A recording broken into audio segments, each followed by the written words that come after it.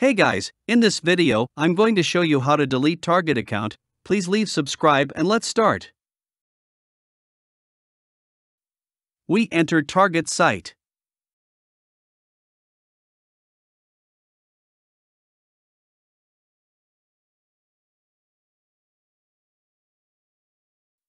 If we aren't logged in, we do it.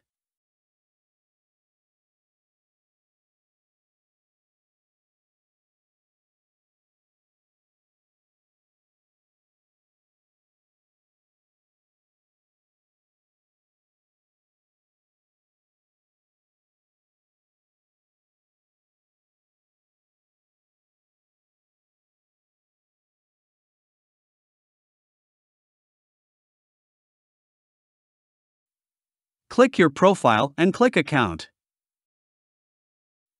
We scroll down and click Contact Us. Then choose a topic and double click Chat Now.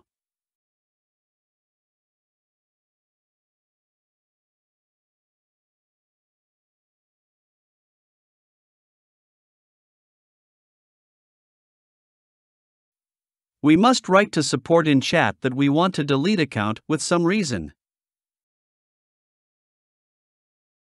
Done.